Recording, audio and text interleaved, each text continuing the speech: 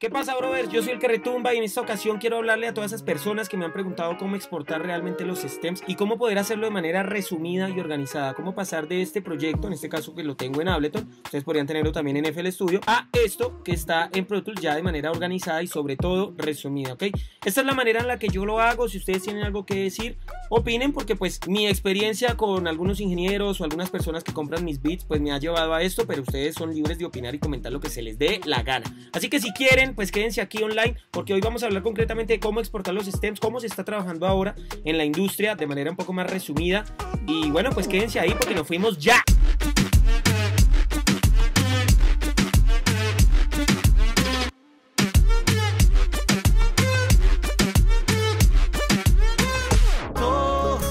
quiero tenerte y besarte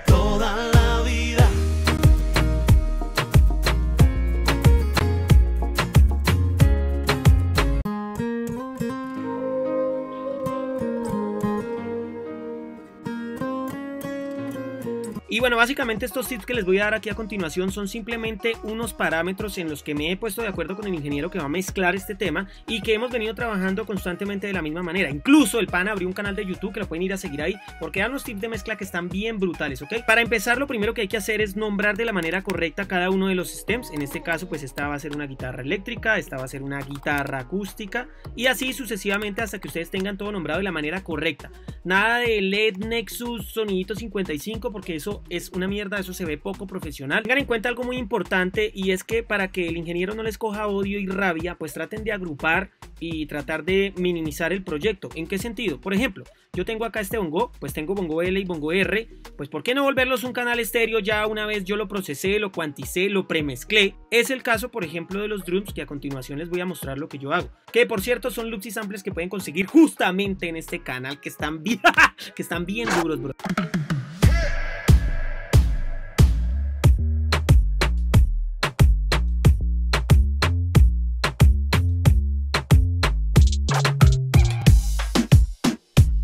Como pueden darse cuenta, tengo básicamente un bus de drums donde tengo aplicada una cadena de efectos, tanto compresión en paralela como, bueno, toda la gama de efectos que después hablaremos de eso.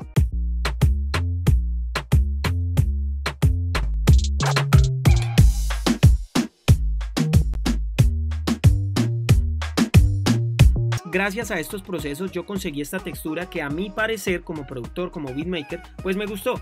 Por tal motivo lo que voy a hacer es exportar un canal que diga drums agrupados y dentro de un folder adicional vamos a poner los drums exportados que diga drums group pero simplemente que dentro de ese folder aparezcan todos los stems cosa por cosa. Entonces qué significa esto que yo le voy a enviar al productor el color que yo quería o la textura que quería para todo el canal de drums y al mismo tiempo si el ingeniero quiere mejorarla o quiere mantener la textura similar pero quiere mejorar algunos detalles quizás sobre el Kigo, sobre esto, pues va a tener acceso a los stems sin ningún tipo de procesamiento. Yo estoy explicando el proceso en Ableton, pues ustedes lo pueden hacer donde se les dé la gana, si es que usan Logic, Cubase o lo que quieran, ¿ok?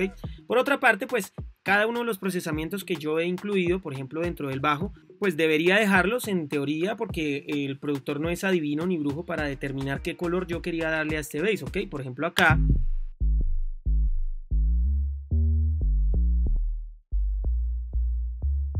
un solo plugin puede hacer mucho la diferencia. Y si yo apliqué este plugin que tiene este bass acá, que es un distorsionador, pues la idea es que el ingeniero también lo tenga, ¿ok? Entonces lo más importante sería que cada uno de los stems que ustedes tienen acá y que le vayan a pasar al ingeniero, pues tengan la cadena de efectos que ustedes desearían.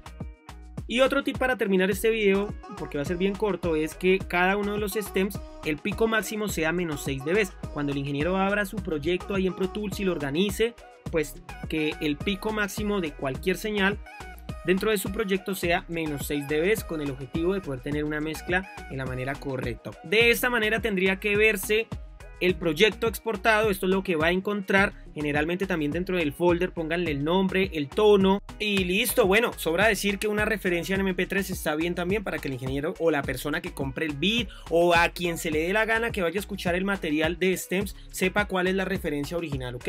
Y listo, brothers, esto era todo por hoy. Espero que comenten ahí cualquier opinión, cualquier sugerencia, cualquier crítica, que generalmente siempre hay críticas, porque no falta el que escriba y venga aquí solo para criticar. Entonces, a ver, a ver, le doy la oportunidad de que critique, critique, comente ya ahí, critique. A los que me llevan ahí con buena vibra, pues acuérdense, síganme en Instagram y nos vemos, parcero, ya, me largo, me largo ya.